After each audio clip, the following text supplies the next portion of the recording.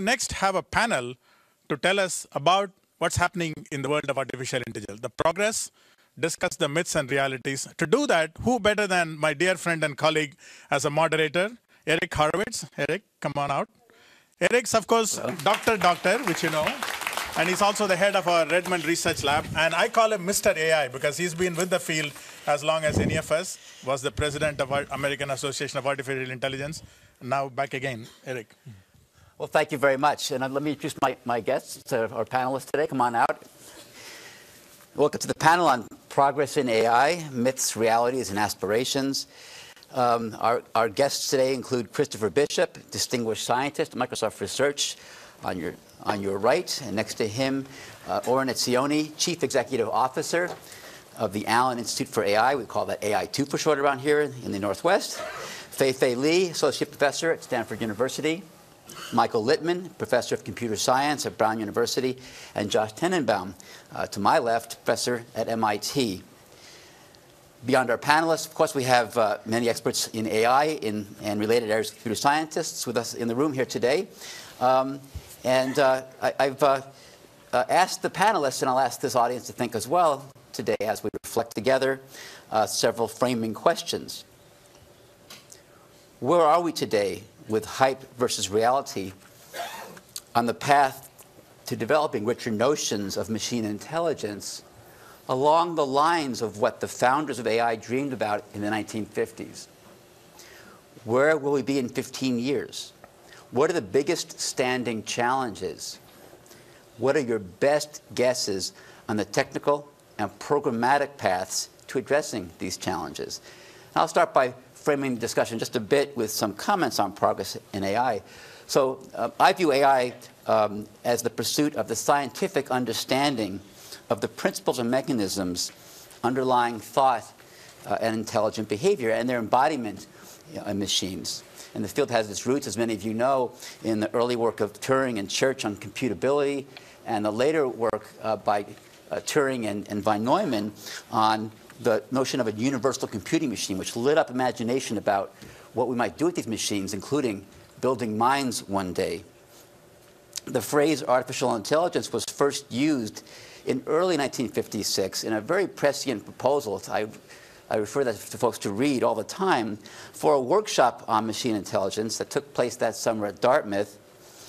And in a beautiful document, the co-authors called for research on machine methods of forming abstractions from sensory and other data, carrying out activities which may be best described as self-improvement manipulating words according to rules of reasoning and rules of conjecture, and developing a theory of the complexity for various aspects of intelligence. Now, things moved quite fast at the outset, and there was a great deal of optimism about where the field was going. In 1965, Herb Simon, a mentor to many of us, uh, said that machines will be capable within 20 years of doing any work a man can do two years later, Marvin Minsky predicted, within a generation, the problem of creating artificial intelligence will substantially be solved. That would have been, uh, you know, the 90s. now, on the one hand, we've made great progress over the decades. There's been a palpable upswing lately. We saw some examples in the first session uh, today. And this work has been largely fueled by the explosive increase in the availability um, of data and computational power, and of course, some, some good ideas. Uh, we've made progress, especially on building out narrow, what I, what I refer to as deep uh, but narrow wedges of competency, such as uh, work on the models of classification, uh, prediction, ranking, work in vision and speech recognition, uh, and natural language processing. And these advances have quickly found their way into our products and the products of our competitors, uh, and indeed are defining a shared competitive landscape now for success in industry. On the other hand, it's been a slow slog on the dream of building machines that show the kind of, of deep, uh, more general intelligence exhibited, exhibited, by people. I'm sure the founding fathers of, uh, of AI would likely be rather uh, taken aback if they saw where we were uh, in 2015 about our understanding of the magic, which we still call magic, behind human level abilities to reason, learn, understand with the common capabilities and the common sense that even small children have. One might even say that the 1956 proposal, if properly reformatted, it could be resubmitted to the NSF or DARPA today, and we'll probably get some funding by some excited program managers. Indeed. even though the progress on building out deep brain intelligence has been slow, um, researchers do have fabulous intuitions. They're working on the things that excite them the most, on the path to answering some of the bigger, deeper questions on the challenges and frontiers, and how we might get to the next level. And this is why I've invited these particular folks up today uh, to help us as guides and as sextants in where to go next. And uh, so I asked each just to share five minutes of reflections, and then we'll open it up. So Chris, why don't you go ahead? Okay, thanks, Eric. So um, I guess maybe a good place, is my microphone working, by the way? Okay, great.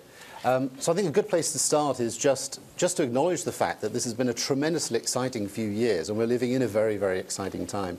And obviously one of the reasons behind that has been the spectacular successes in a number of problems, as Eric has already hinted at, in, in the use of neural networks and so-called deep learning.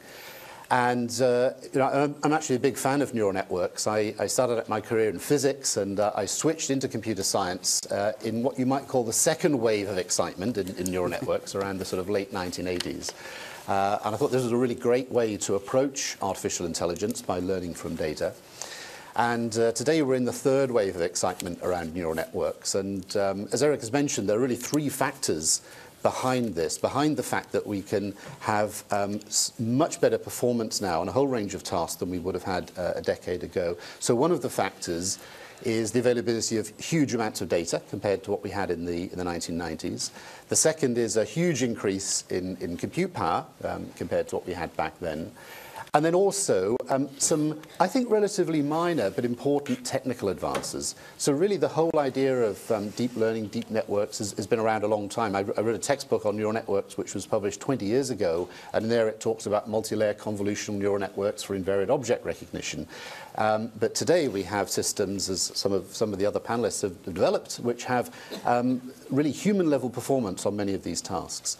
Now, um, the fact that we've been able to take some of these 20-year-old ideas and accelerate them through more data, more compute, and a few tweaks to some of the, the algorithms uh, means that maybe some of those other ideas that have been around for a long time could be ripe for big advances. So I do feel the next few years is tremendously exciting for the field of machine learning. And, and I guess I'm sort of implicitly assuming that the machine learning is going to be the thrust of our approach to artificial intelligence. Maybe there are other ways we should approach this, but I think machine learning will be at the heart of it.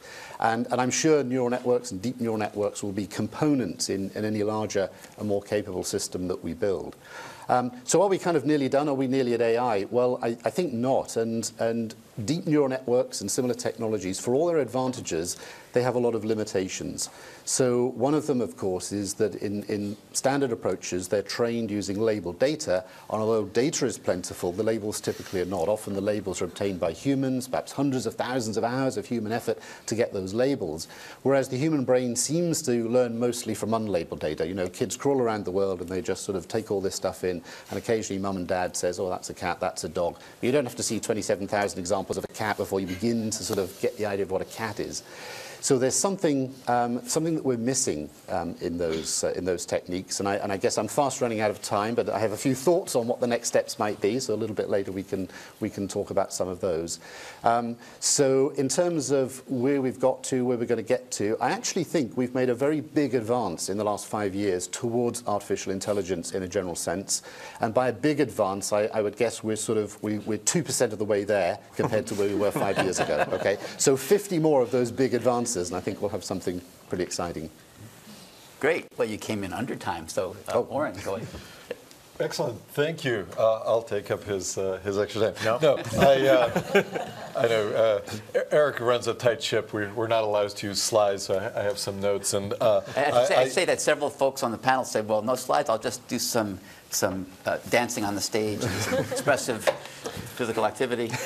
I, I was planning on it, yeah. So I, I very much agree with what Chris said about A, we're in the midst of what's called uh, AI Spring, and that's where I can't show you the slides, so that was my spring dance. Uh, and, uh, and secondly, that uh, this AI Spring and this big data paradigm, not just uh, neural networks, but more broadly machine learning algorithms, has some very clear uh, limitations. And um, I just want to take that theme uh, two steps further. So again, as he said, uh, we need labeled data. Often uh, we don't have it. That's a wonderful uh, computer science problem, whether it's mechanical Turk or distant supervision. There's a variety of techniques for getting more semi-supervised learning, getting more uh, learned data. Uh, I would say that that's not enough. To me, a lot of what AI is going back to Herb Simon, is the study of uh, problems that are very hard to formalize, uh, or maybe even impossible to formalize directly. So I feel like once we've cast it as a technical machine learning problem, once we've identified the objective function, and all we need to do is solve the optimization, can still be a very hard uh, computer science problem. And actually, that's a great thing for us, who's collaborating with you know folks like Jeff Dean at Google and others, right, who come from different backgrounds and help us scale uh, our methods. Um, it, it's a wonderful success, but, but many of the most fundamental problems in AI, we don't know how to formulate the objective function in the first place. So uh, the problem that we're working on uh, at the Allen Institute is really taking AI grand challenge problems and figuring out how to map those to uh, technical computer science problems. Case in point, a problem that's near and dear to my heart is machine reading. Very simply, take a uh, textbook, say in biology, read the chapter in the book, and answer the questions in the back of the book. Okay, very, very hard to turn that into any kind of reasonable optimization or machine learning problem. Uh, I mean, you, uh, it's, it requires a lot more decomposition, a lot more formalization to do that it doesn't uh, just reduce to a simple uh, vector. And actually, I do think that, you know, at AI, we've had these kind of hype cycles over, over expectations. While I love deep learning methods, I do worry when you start to see terms like I saw recently, thought vectors, mm. where, where, you, where again, we're, we're verging into the hype cycle because thought is not something that's expressible as a vector. Okay, it's just a little bit more uh, complicated than that. It's a tensor. Uh, even a little bit more, you know, a few more dimensions there. But uh, I like where you're going. The, the, the other point that, uh, that I wanted to make, and, and again, actually, just to, to, stay with the greats, I, I thought Allen Newell put it incredibly well when he said, you can't play 20 questions with nature and win. You can't reduce AI intelligence to a series of binary or even probabilistic distinctions. It's just more complex, requires reasoning, requires formalization, require mapping from, say, how we think about things, how we think in language or in images, to uh, more, more formal structures. Anyway, that's, that's what we think about. I wanted to use my remaining one minute or so to also talk about the whole uh, fear thing, right? There's a lot of uh, concern about AI uh, more broadly in the popular community, right, with, you know, with movies and, and so on, but also even within the AI community, right? There have been various um, thoughts and useful discussions about how do we uh, uh, think about the threat of AI and so on.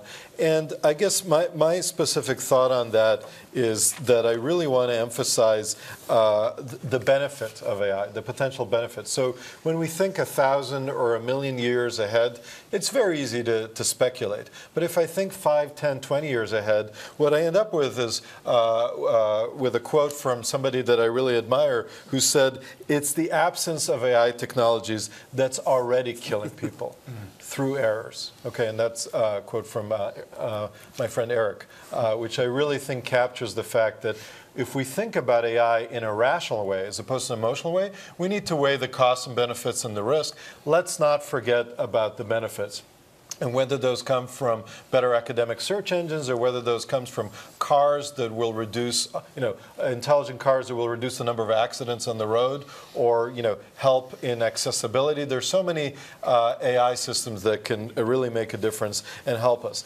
And then people ask, well, what about uh, the distant future? And my last line, I want to quote from uh, John Markoff's uh, upcoming book. Uh, he has this great line and he says, don't mistake a clear view for a short distance. we have a clear view of where we want to go. I see in this room intelligent beings. It's not a short distance by any means. Thank you. Fabulous. By the way, Eric, the, on the subject of thought vectors and this terminology, back in the 1990s, you probably remember, there was a, a very nice paper published. It was actually by Yann LeCun, I think, and co-authors. And it was very, it was um, essentially how to remove redundant parameters in a neural network. And it was a very sensible paper, a nice eigenvector analysis, absolutely beautiful. They decided to call the paper Optimal Brain Damage. I, love, I love that title. Sure.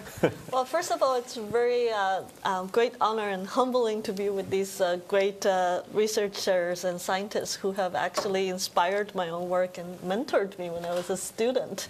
So, um, so Eric, uh, when he invited us, he gave us the task of uh, discussing two things related to AI. Where have we been and where are we going? So I want to make one analogy, and uh, Josh already and I dis- uh, agreed backstage we're going to disagree, even though we actually like each other's work. so um, everybody knows I'm a mom, or most of you in the audience knows I'm a mom. I'm a mom of a three-year-old. So if you had have recently had small kids, or still remember having small the experience of having small uh, small kids, the first thing you probably remember is this term "terrible two. But actually, what we don't talk about is there's a short stage before Terrible 2 they were just in total euphoria. And it's somewhere between, depending on your kid, one to two or one and a half year old, these babies are just so happy and they're just like little angels running around. They're not terrible yet, but um, and I, my own kid also went through that and passed that. Um, King out the other side. um, I have a, a, a, a uh, hypothesis, and I, i promise I'll get to AI, um, of why this is. I think that around that time, the babies have made a huge developmental progress in their lives. And they're aware of that. And, and what I call that progress is actually the perceptual achievement, the perceptual progress. They've gone through so much actually hardship being born and dealing with the world and, and for a year or two. They kind of have figured out some of the important basic tasks especially relating to um, matching patterns of objects getting some of the words even though language is still information but they're starting to understand language so they can match a lot of the linguistic uh, uh vocal patterns uh, they, they, their perceptual, visual perception pattern recognition is, is doing really well. Their, their haptic pattern rec uh, recognition skill is also doing really well, and they start to actually put that together with motor skills. So, so there is this euphoria stage that we don't talk about. And I think we're in that euphoria stage in our AI research. and, and I think we deserve that. Uh, but I do want to point out this is where I'm getting at. I think for the past 50 years, 60 years, after a lot of long history, I mean, starting from symbolic system, expert system, uh, statistical machine learning, we've got certain part of perception. I mean, I'm not saying we've solved object recognition or speech recognition 100%, especially when it comes to product. We still have a way to go. But I think today where we have been is that we've hit a great progress for perception. But I do want to emphasize that, oh, first of all, Terrible 2 is coming, but no, just kidding. I do want to emphasize that there's a lot more to perception itself, but really beyond perception is the word cognition.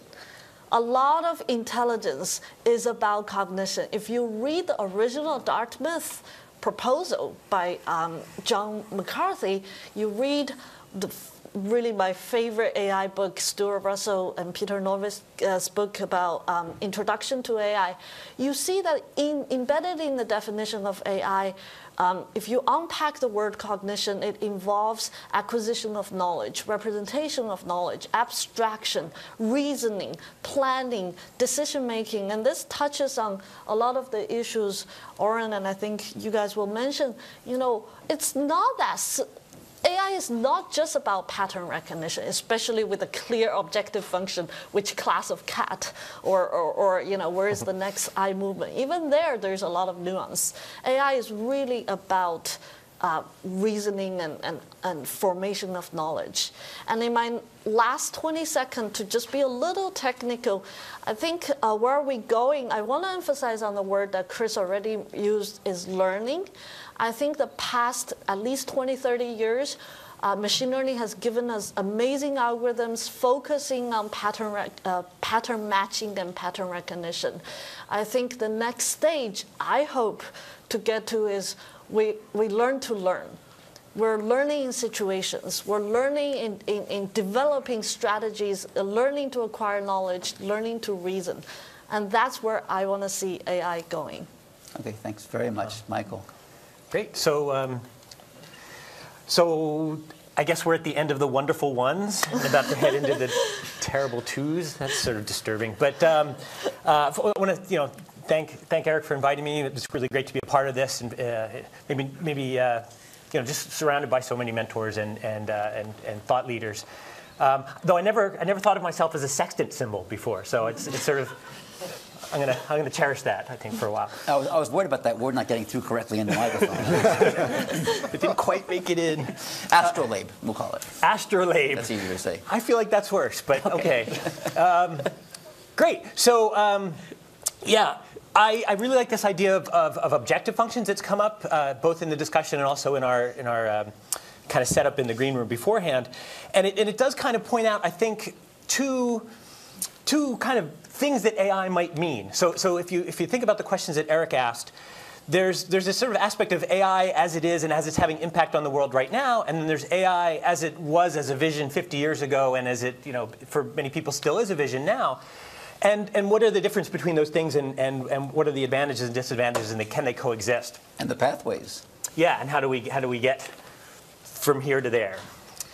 And so I want to say that uh, that objective functions in some ways is kind of a is kind of a branch point for that. That one of the reasons that I think the, the field has been very successful and has actually been able to accomplish an awful lot is because you know we, we now have as our practice we define a problem, we develop an algorithm to solve the problem, we maybe throw in a lot of data, we do some evaluation of that, and um, and if it doesn't work, we you know we turn the crank and try to try to do better. We try to engineer a better system. So those objective functions are incredibly powerful and incredibly useful in driving a kind of progress.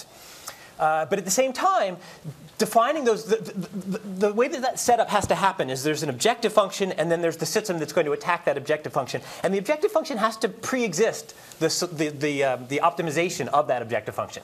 Right? It doesn't, doesn't sort of make sense to do it any other way.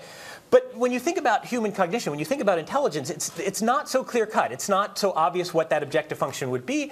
And, um, and one of the ways that I've been thinking about this is, uh, I remember back, back to having kids, um, I also had kids at a certain point, and, um, and one of the things that I thought was pretty amazing was that um, the, the process of trying to learn to be funny. So um, turns out to be a very hard objective function, especially for young kids. And there was this period that my son went through when he had gotten the syntax of jokes pretty much, but the semantics was simply not there. And there was no way to tell him, no, you're not, that's not, that's not funny for this reason.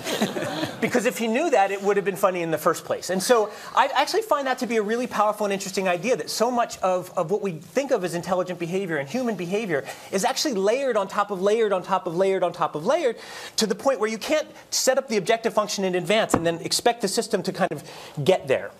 You know, we, we tried for a while of like, well, we'll not feed you unless you're funny. And so, um, you know, it's a very clear objective function, very motivated to get it to work.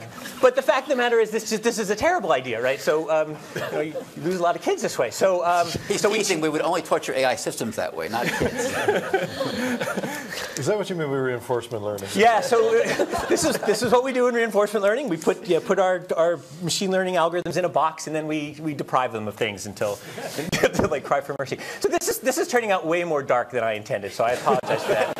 Uh, but the, the fact of the matter is that sort of that notion of layering to me is actually really important, and I think it's something that we need to we need to rejoin as a field and really get back to some of these ideas of, of systems that don't, you know, we have the objective function, we shoot at the objective function, we meet that, and then we're done. We put that system on the shelf, it solves problems for us, and we're really happy. But systems that are actually gaining capability over time, and that, that new, objective, new objectives can actually be defined in terms of past competence. And so that's something that I think is really important. Machine learning, not just of here's a static data set, let's give it to it, but maybe us as people interacting with these systems, get, you know, getting them to a, to a new level of competence and then challenging them to go even further. And I don't think we have a good model of that at the moment, but I think that's a, that's a direction that I'd really like to go. Fabulous. Josh, you, you said it wasn't cleanup, it was called something else. batting fifth. Batting fifth. Baseball expert. Yeah. Um, so, so thanks. Yeah, it's a great honor and pleasure to be here. Um, and uh, uh, sort of echoing what a lot of the speakers said, I mean, obviously this is a golden age, or you know, the latest golden age for AI, and we and we want to be thoughtful about what we're going to do with it and where we're going next. Um, you know, I'm I'm partly an AI researcher and partly a cognitive scientist. I try to reverse engineer how the human mind works in the same kinds of terms we would use to engineer more human-like AI, and I I, I think that um, that's going to be important to. Uh, driving where we go next.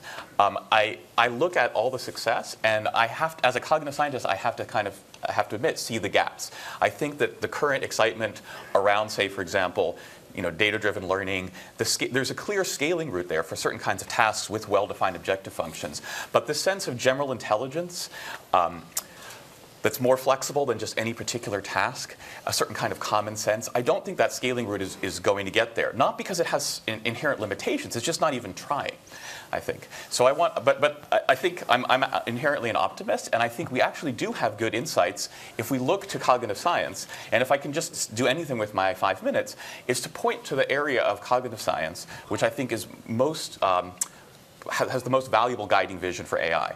Um, when I was in grad school, actually, um, I don't remember where he said this, but Bill Gates actually said this very well. He gave a talk in the mid 90s, and he, and he was talking about the, the early days of MSR. And one of the goals was to try to understand certain basic capacities of intelligence, seeing and, and speaking. And he said if we can only get computers to be as smart as a five year old, then that would be a huge uh, accomplishment and of great value. And um, you know, this, this idea that we should try to build AI by looking at the intelligence of young children and seeing the, the cognitive development path over the first months and years of life as a scaling route to AI, I think is a very valuable one, right? So Bill Gates said it, the early founders of AI, uh, Turing, Minsky, McCarthy, they all suggested that at key points of their career. Uh, a lot of the, the deep learning people also talk in that way. Fei-Fei was talking that way, and I think, you know, I, I, I not only respect Fei-Fei's research accomplishments, but her vision is, I, I, I- you know, I think it's, it comes closer to what I'm talking about than a lot out there. But the thing is that it's not just enough to be really smart and to be an observant parent and to look at what your children were doing and try to think, oh, well, here's my kind of intuitive theory of what they're doing. There's an actual science of cognitive development. Hmm. And just as there's been great progress over the last, say, two decades in AI research, there's been just as much transformative progress in the study of cognition in infants and young children. Um, and so that's in the first few months of life and the first few years. And I think when, when Bill Gates said, let's, let's aim for a five year old, he was already being too ambitious because even a one year old is more intelligent in, and has more common sense than any of our AI systems. Um, even a six month old and there's a lot of research about this, and we should study it and learn what are the ways in which even a three month old has a certain kind of common sense. And then how does that change? What are the learning mechanisms, the real learning mechanisms, which grow that knowledge over the first few months, from three to six months, from six months to 12 months, from 12 to 18, and, and two years and three years? Each of those stages are different. They're they're fairly well understood in a lot of empirical ways. There's a lot of data. It's not, there's not a lot of theory by the sort of formal standards that computer scientists would recognize. And it's one of the things that these fields can offer to each other.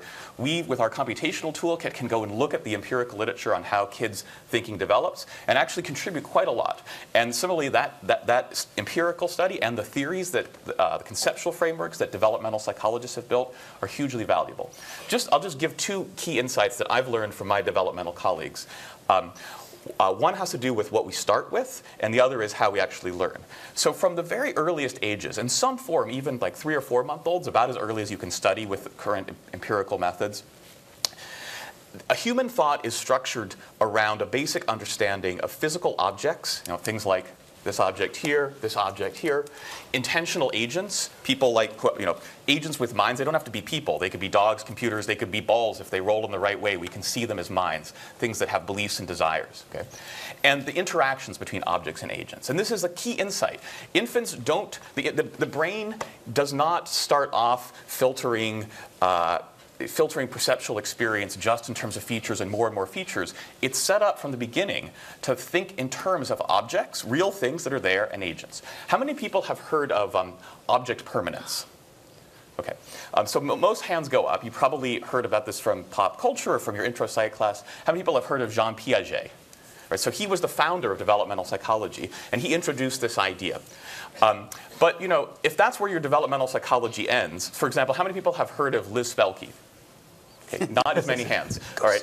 Um, she's one of the great modern developmental psychologists who studied infants' concepts of objects. This would be kind of like if your understanding of AI was, you know, in terms of Turing or Minsky, right?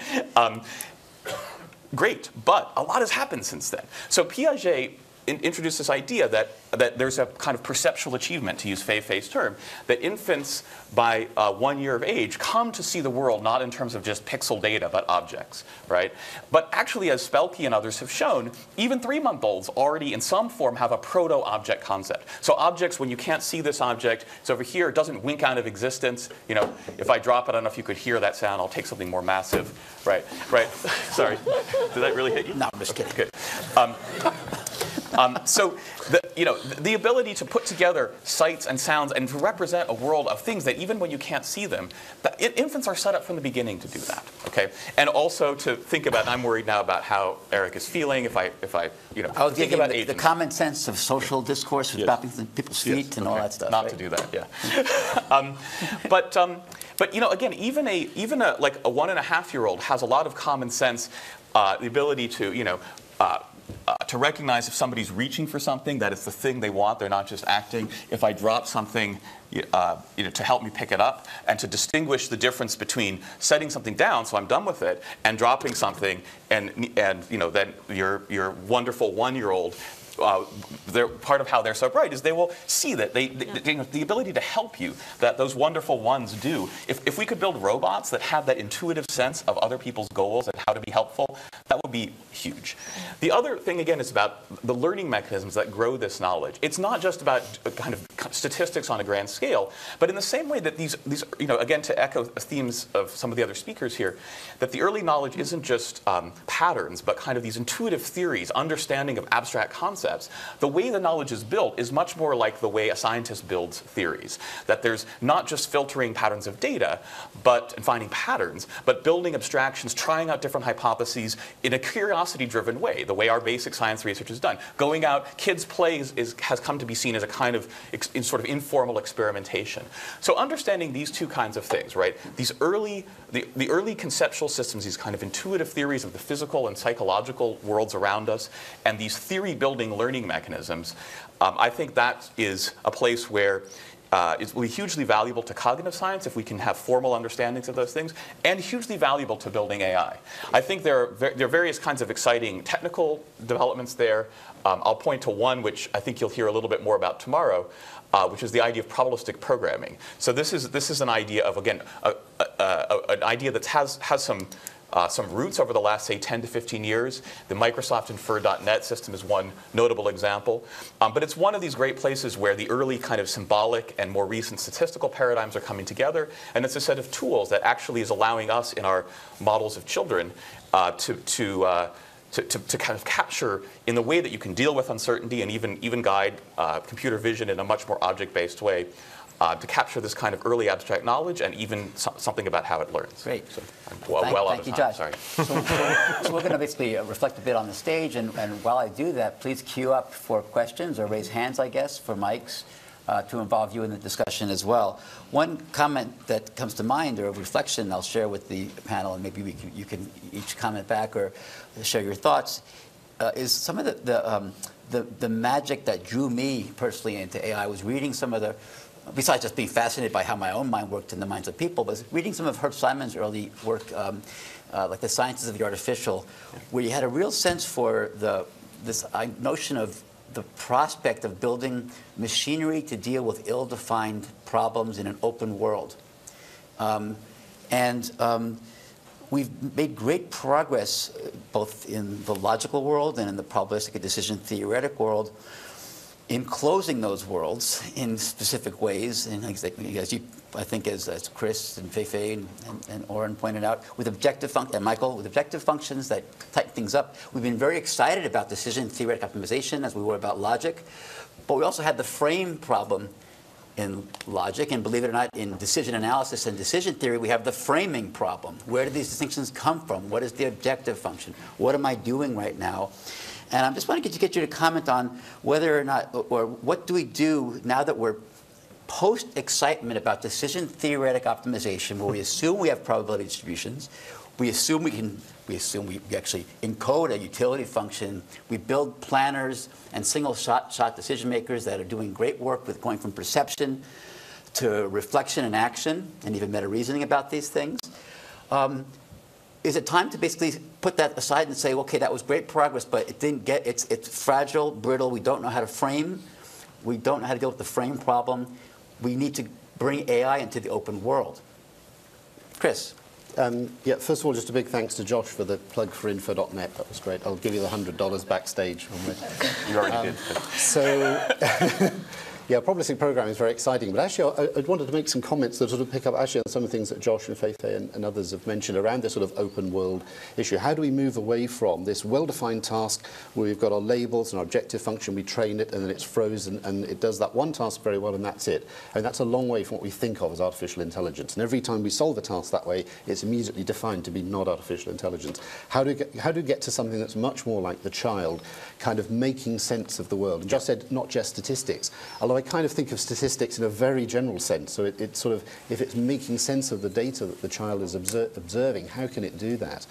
And of course, I don't know all the answers, but I think one of the directions that we could and are pursuing, I think, has a lot of promise, is to recognize that the, the, these sort of two modes of cognition, if you like, the sort of the bottom-up fast mode, which is like the trained um, network. I turn around a split second, I can, I can recognize it's Eric, I can recognize a predator. That's some fixed, pre-trained same um, concept. Okay. uh, exactly. Yeah. So um, same same neurons. Yeah. Um, that's a kind of fixed, fast, bottom-up thing that's sort of pre-trained, that's trained in some other place or some other time. But then there's something that's more bottom down. It's about an internal model of the world. So if we just take object recognition, for example, we've got kind of two ways of doing this. One way is to, is to uh, use a discriminative method to try to learn decision boundaries between apples and oranges. Another way is, is sort of unsupervised, without labels. If you're just given a huge amount of data, if I give you billions and billions of natural images of the world, and I just said compress that data which is equivalent to modeling the probability distribution of that data, then uh, you could discover the presence of, of regularities. You could discover objects, and you'd discover apples and oranges. You wouldn't know they were called apples and oranges, but now if, you know, mum and dad tells you that one of these is an apple, you know about the whole concept of apples. And that's sort of much more like the, the, you know, the child making sense of the world in this statistical sense. So there's a lot more to AI than this. But I think, um, but let me get to the thing that I think is really exciting. It's just a little personal thing that I, I, think is great, which is how do we combine these methods? Because if you look at these two approaches, if you look at um, neural networks, discriminative methods, the, the, they're, they're very fast and they're very accurate, but they need a huge amount of labeled data. If you look at these uh, generative methods, or this analysis by synthesis, then you can get away with little or even no label data. But the problem is it's computationally very expensive. You sort of have to test out all the hypotheses. You say, you look at this thing and say, is it an apple? No, not very good. Is it a, a, an orange? No. Is it a bottle? Yeah, maybe it's a bottle. Okay, is it a red bottle? Yeah, not quite. Is it is it a blue bottle? Yeah, okay, now it's looking... So you've got this computationally very costly process in principle of exploring all the explanations of the world to find one that fits. Okay, so that's kind of the generative, the generative method. So, so one of them needs, needs labels, but is, you know, um, uh, and, and is very fast. The other is slow and doesn't need labels. Can they kind of train each other? Can they mutually train each other? And it's, and, and I just give you a couple of little evidence points that I just can't, can't resist because I think this is maybe not completely crazy. So if you go back to the skeletal tracking system in Kinect, um, you know, the, the, the, the 3D body sensor, That system was trained using motion capture data, so real data, but the variability in clothing and infrared reflectance camera noise was so huge that we actually used synthetic data. So we started with the motion capture data and then synthesized all sorts of variants. So a generative model was built by hand and used to create labeled data to train the discriminative system. Here I'm talking about learned generative models. We have a, a, system we're working on now called Kyra, which is a hand tracking, a real-time hand tracking system, where those discriminative methods are pretty good, but they're not accurate enough to get super precise details of where, where all the fingers are.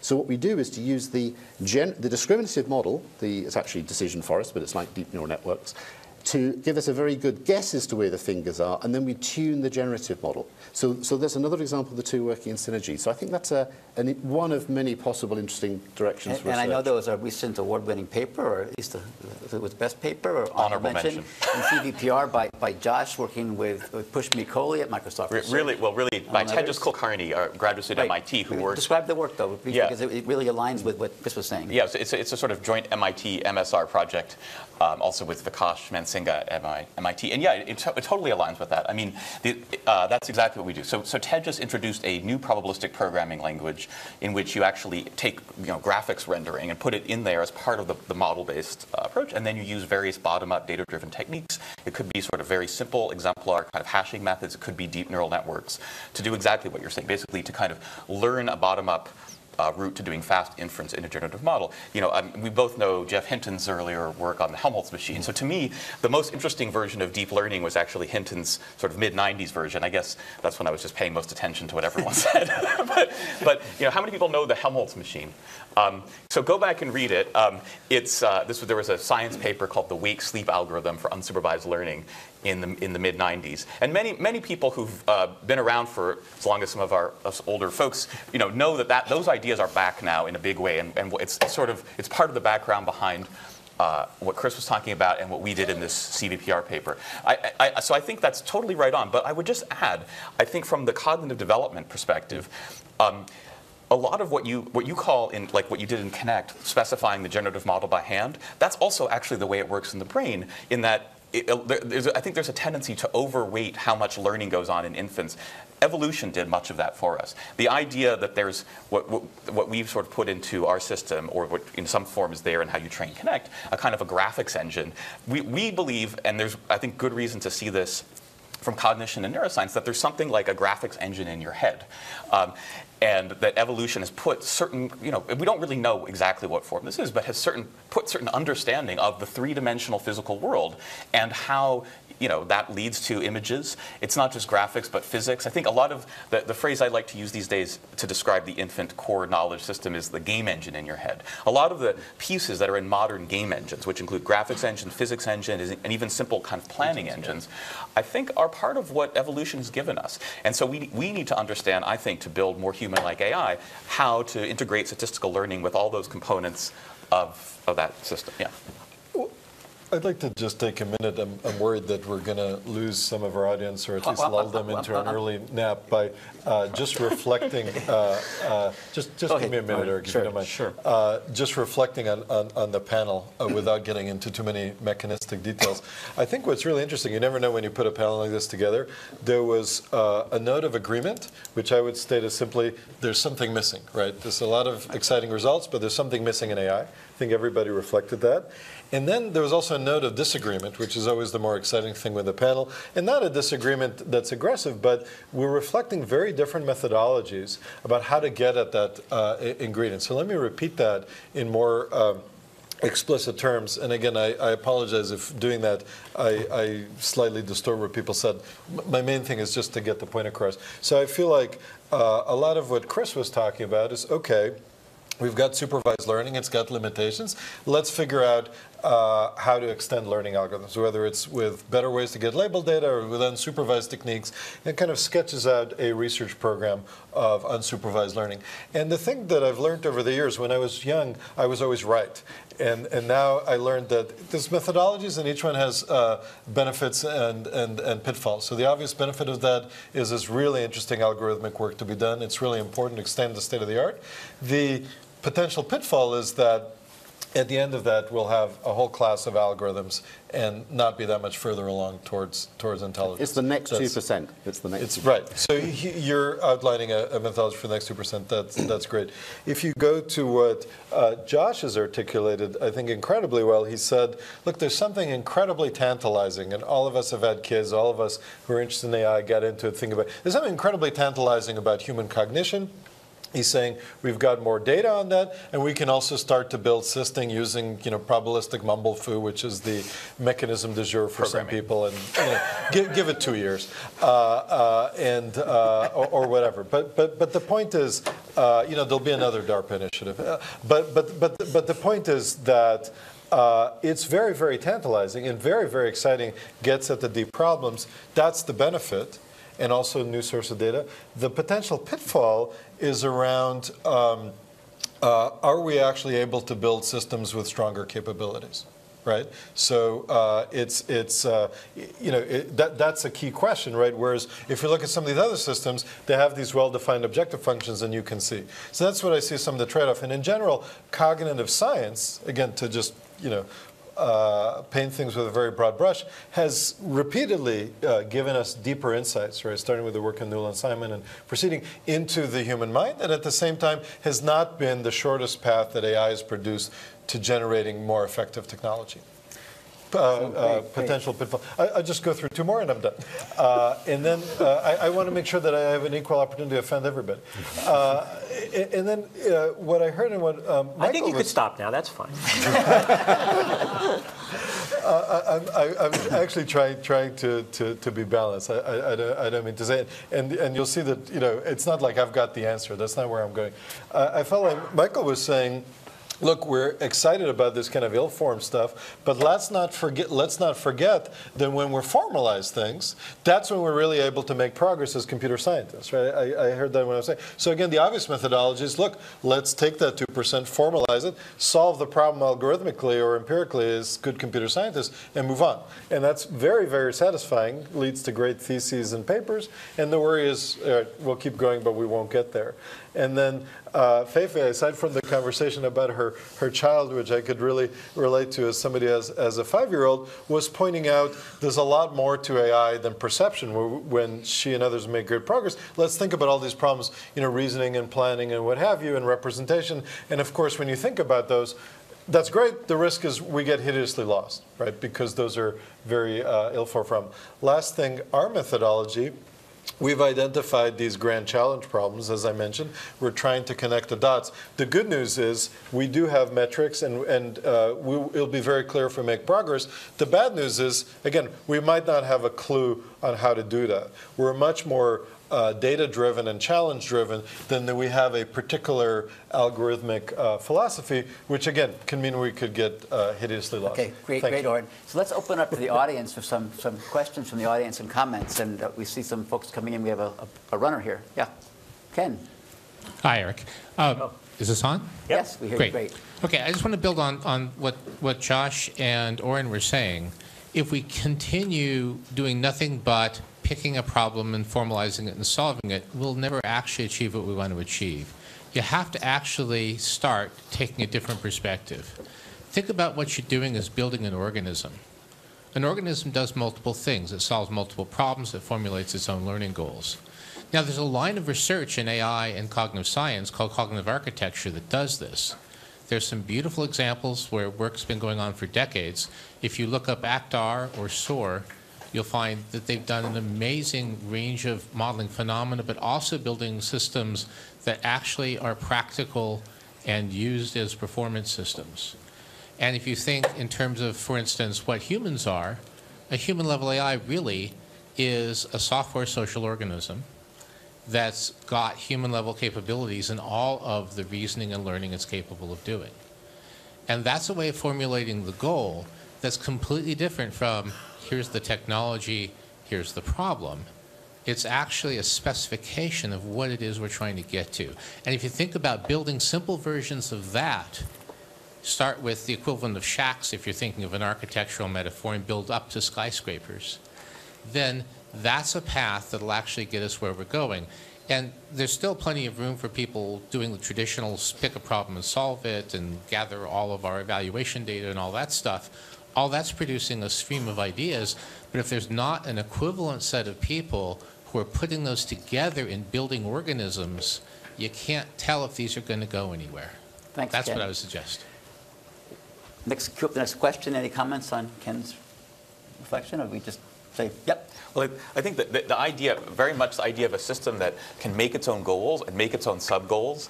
I mean, it's, it's another way to put, I think, what Michael was saying, right? Which is that there's that somehow we have this kind of intelligence that can that doesn't just have a single task objective function, but can make our own objective functions and can decide, oh, well, I'm going to work on this thing, like try and understand AI, and then formulate sub goals and sub sub goals as part of plans to do that. Integrating that kind of approach with our sort of expected utility optimization toolkit that's driven so much of the excitement in recent uh, AI, sort of from a machine learning point of view, I think is, is really important. The question from Peter.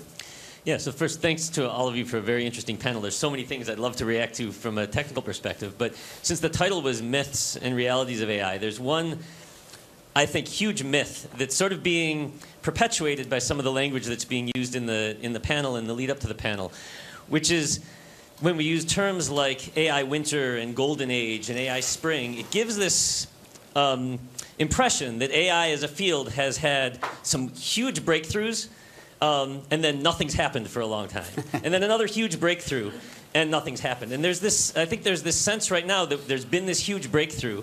But I think the reality is instead that there's been this steady incremental progress over many, many years, and that a lot of this, I think, um, you know, Chris gave this sense a little bit that, you know, with neural networks, for instance, um, you know, there's this notion that this so-called, you know, deep learning is this huge breakthrough, but really there's, it's because of the people who've stuck to it over many, many years and made these small breakthroughs um, and small progress. And this is happening, I think, all through AI. That for a while everybody was doing symbolic, and then no, it's got to be probabilistic. And for a while SVMs were the breakthrough, and then, and I think it's, you know, the this is it's a it's a harmful myth in the sense that it causes people to to jump on a bandwagon and everybody go to in one direction where really you know the way for progress is that for everybody to stick to the you know the um, their uh, their area, and there's many different really promising areas in AI. And I think you know we should have this vision of a steady, Absolutely. incremental. I mean, we're you know at the point today where where um, where you know Jeannette Wing, who I'm thinking of, we think of all of his uh, you know misformal methods, just gave a 45 minute talk on AI, which is great. That's great to see you do that, Jeannette. Um, but but I but I want you know but I, I you know I think we we also you know it's really exciting and it's tempting for all of us to say yes this is a golden age and everybody should jump on it. But I think we all do need to also recognize that the whole field of computer science needs to keep moving in the you know the steady incremental progress and we probably will get to a point that where the hype is gone and where there's not the, the, the news coverage again and you know it'll be tempting to say that that's an AI winter but really you know we should keep keep pushing and, and so the I think that's a big myth Sure. we need It's to a fabulous really comment, able Peter. dispel Thanks it. very much. Over here. Eric, a a great panel and uh, very uh, thought-provoking. Uh, I just have a very simple question. Many of the panelists mentioned that uh, there are all these terms with no definitions from a mathematical point of view. Uh, Do we have the right mathematics and formalisms to formalize the concepts that AI is struggling with? What does it, what will it take to turn AI into a science?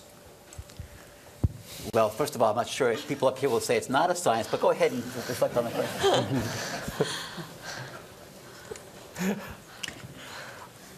Where to begin? Any, any comments?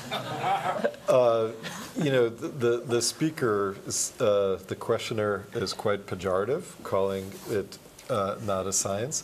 And in response, I would say that the question really bespeaks a tremendous ignorance of the field and of philosophy of science. Uh, most scientific terms, uh, starting with the cell, uh, are very difficult to define. Wittgenstein's philosophy of language has shown that most terms are actually difficult to define. Even the notion of definition is questionable. Uh, also, most science doesn't have uh, mathematical underpinning in this sense. Uh, physics may be an, an exception.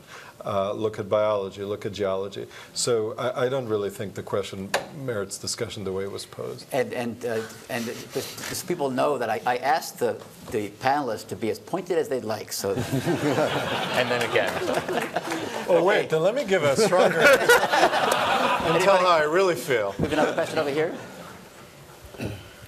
So um, it seems that the panelists Pedro. agree that you know we've had some great successes recently, and it's good to celebrate them. But also that you know there's these other things that we really need to focus on to get to AI. And we saw various, I think, great ideas about how to get there.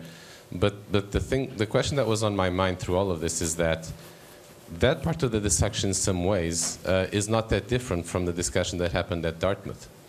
And so the question I think that I would like to ask the panelists is, what have we learned from the failures of the last 50 years about where to get in these things? Because surely it's by learning from those failures that we're going to succeed sometime in the future when, when we didn't in the past. Any comments? Chris? Yeah, a, a- a thought on this, and I, I, I guess, and uh, you know, the, the, the good old-fashioned days of AI sort of predate my involvement, but but I guess, you know, the 50,000 foot view is that there was a, a a move away from, as it were, handcrafted rules. Um, to sort of lurching to the other end of the spectrum, which is sort of learning from data. And neural networks are kind of um, the, these black box models that, that learn from data and have very little um, prior knowledge built into them, with the exception probably of convolution, which sort of captures local translation invariance. And I think an interesting question, Joshua hinted at this earlier, is around what sort of prior knowledge should we build in and what prior knowledge does the brain build in? I mean, the genome doesn't have enough bits in 3 billion base pairs to specify all the synapses in the brain. Most of that has to be learned. But there are a lot of bits in the genome, and you could specify things like, I mean, why would the brain not encode the fact that it's going to be born into a, a 3D world and it's going to see lots of 2D projections of that world? Why wouldn't you bake that into the, the structure of the visual cortex? It seems to me you would. And so, you know, again, one of the things, you know, that many of us are quite interested in is how do we back away a little bit from that extreme end of just black box neural goop that kind of learns anything, and how do we bake in some high-level prior knowledge? I think this is where probabilistic programming comes in as a very efficient and elegant way of encoding some of that high-level prior knowledge, but still having all the details um, learned from data. So I think there probably maybe is a very interesting time to go back and revisit some of that very early literature because you know, very smart people thought long and hard about this and they didn't have fast computers, they didn't have neural nets, they didn't have um, you know, tons of data. But there were smart people, they thought about this long and hard and maybe there are ideas that we can take and then transplant them into the modern context. So I think we've lurched from one extreme to the other extreme and now we're sort of backing away a little bit and finding more of a middle ground. It's very interesting times. And, and yeah, sort of more generally, I think learning to be wary of extremes, right? Learning to look at the, at the different eras of our field and try to say, well, when some really smart people said something and then it didn't turn out to work, then there's some lessons to be learned from that. But part of it is to understand, well, what was the really right thing that they were onto? Can we extract that out from the things that maybe they just either other things they didn't know how to do, or they didn't have the technology or the data to make these things happen? You know, again, and Pedro, of course, your your work is, you know, I, I think I think of, say, for example, Markov logic as an example of understanding. Okay, there was something really right about logic. What was right about logic wasn't deductive inference. That's too weak and brittle, but abstraction, right? And if we can combine the abstraction of predicate logic and then combine that with the power of statistical learning and inference, we could do some pretty cool things. And and I, you know, I think as a field, learning that, and also kind of, I think having, since learning is the theme of the day or the decade, um, the more sophisticated appreciation for what learning is really about, and understanding that learning isn't just um, something you can just follow your intuitions on, but there's a science of learning, and that maybe maybe the way that um, uh, you know, uh, I think a, a, a lot of people in machine learning or AI will, will and, and again, uh, to maybe foreshadow something that you might be talking about soon, evolution is kind of the real learning algorithm in a sense, right? Or there are there's learning over many different timescales. If you think of learning in the very broadest sense of adapting to the statistical structure of your environment, there's aspects of the three-dimensional world and the fact that we perceive it through light and sound that is millions of years old, right? And or or even more. And then there's things which happen on other time scales of years, months, days, seconds, and so on. And understanding that no one of those is the right time scale to focus on, but understanding how uh, you know, a brain or an artificial brain or an intelligence system adapting to the structure of its environment over all those time scales is something that we're going to have to take seriously. Uh, so just uh, to make a comment, first of all, I think evolution has already encoded one prior structure for uh, coping with the 3D world, which is we have two eyes, not one eye. So um, just just a little comment. Um, I think I think uh, this whole um, um, uh, discussion about what's next? And we, we said technically we talked a lot about programming language. Um, um, the other thing I think we should uh, consider is actually go back to the early AI concept, but in a modernized way, is think about knowledge, knowledge formation and knowledge acquisition and common sense knowledge. And, and here, you know, speaking from a vision point of view, uh, people like Larry Zitnick and uh, MSR is actually leading a lot of those uh, research and also in the AI2, you guys are doing knowledge. And, and I think this is one topic that uh, we should pay a lot more attention to, to extract us out of simply statistical pattern matching for one task, but start to formulate that kind of backend structure of reasoning, give us a path to abstract um, information and form relationships and be able to reason um, in an ad hoc way, more ad hoc and situational awareness way rather than just go for that um, end task. Well, thank you very much. We're having to break now uh, to a break for all of you. And um, sorry we can't take the last question. Uh, I want to thank the panelists. I have to say that I had a fabulous, it, it had to be the most exciting green room I've ever been in. For, we, we got some research done, I think. and they can all share some insights with you at the break. And there'll be plenty of time to meet each of these wonderful people to have some, some insightful conversations. Thanks, everybody. Each year, Microsoft Research hosts hundreds of influential speakers from around the world, including leading scientists, renowned experts in technology, book authors, and leading academics, and makes videos of these lectures freely available.